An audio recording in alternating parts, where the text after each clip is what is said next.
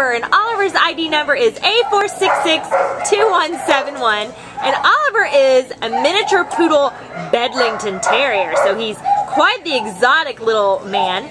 And he is about 10 years old, so he is a gentleman. And he came in as a stray on December 20th from Baldwin Park. He weighs about 8 pounds. And this little guy is friendly with a capital F. He's just the sweetest little low to medium energy guy. You know, he's just um, low maintenance, doesn't need much of anything. Is very, very friendly. Tail's always wagging. I don't. I think you might even be able to see a little bit of that tail wag right now.